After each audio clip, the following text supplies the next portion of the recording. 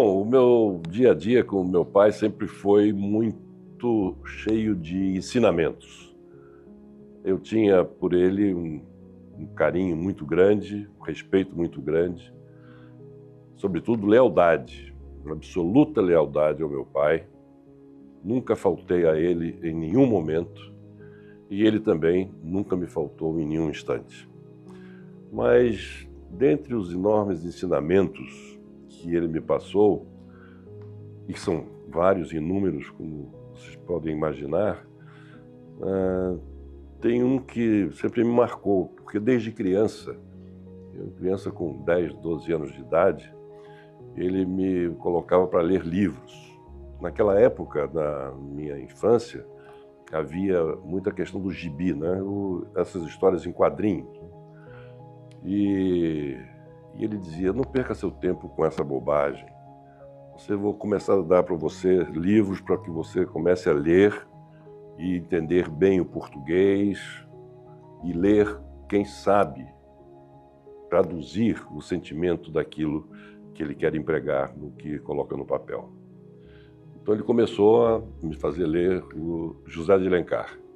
E aí começou pelo, pelo Guarani. Né?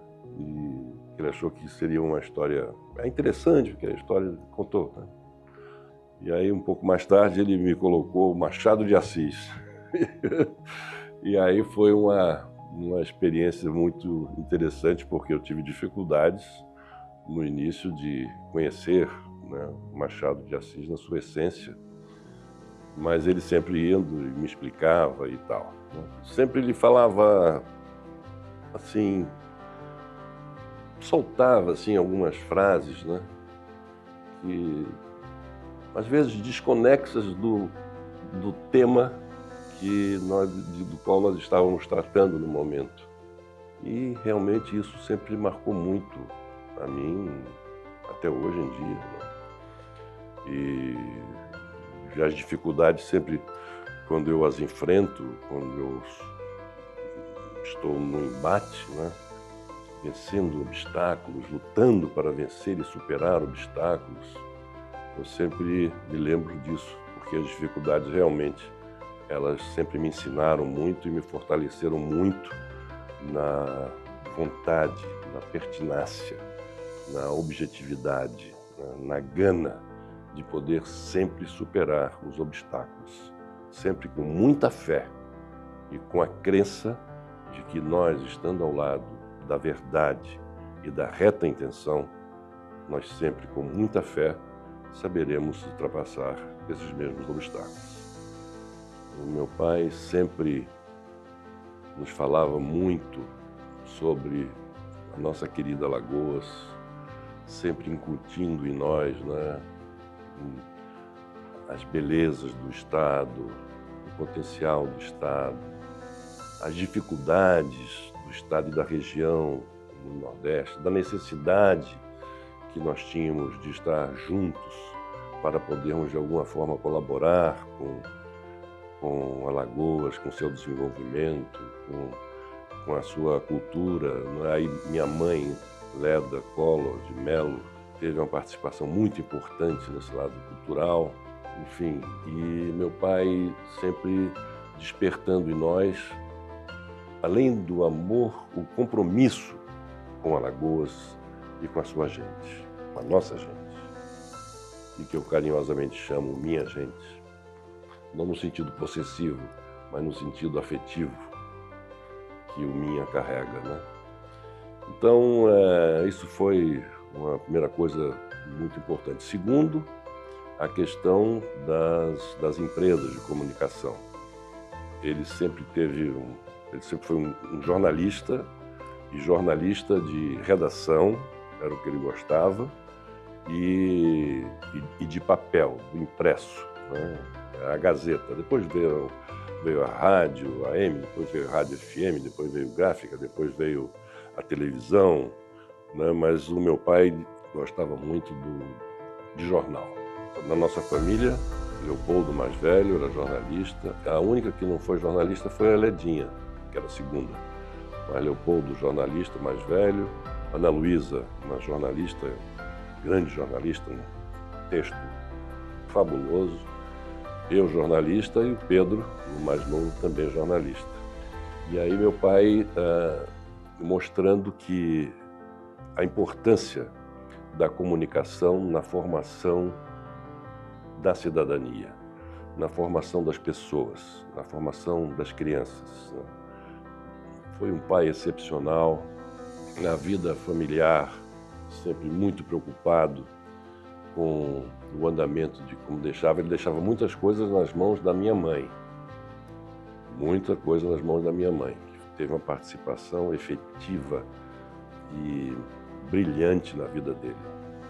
Eu diria que sem a minha mãe ao seu lado, o meu pai não teria chegado ao ponto em que ele chegou, tanto no campo da política como no campo da sua vida empresarial. A minha mãe, Leda, foi uma mulher extraordinária. Enfim, um conjunto de, uma miríade de, fatos né, que vem agora à minha mente, evocando sempre no centro de tudo a figura de meu pai, Arnon de Mello, mas ele foi o grande chefe desse conjunto de forças muito positivas que se concatenaram para que eu pudesse ter a formação que eu tive. E eu sou muito grato a ele por isso. Meu pai é, teve uma influência decisiva né, na questão da, da oratória, da forma de falar, da forma de se comunicar. A campanha dele em 1950 foi uma campanha revolucionária em termos de que naquela época não existia um formato que hoje é dado àquilo que se conceitua ser o marketing, mas ele foi revolucionário. Ele, ele fez um, uma revestinha, né, contando a vida dele colorida né, naquela época. É uma coisa muito rara, de, raríssimo. Acho que ele foi o primeiro no Brasil a fazer isso. Ele dizia que o movimento das mãos ela é muito importante. O político, a gente conhece o bom político pelo abanar das mãos. Pelo abanar das mãos. Eu dizia, mas como assim, pai? A mão, a mão, a mão ela tem que ter um formato e um movimento de carinho, de afeto. E quando você quer fazer o carinho e um afeto em alguma pessoa, você usa a mão um pouco mais encurvada, um pouco mais, um movimento um pouco mais suave, mais leve. Então o abanar deve ser um afagar.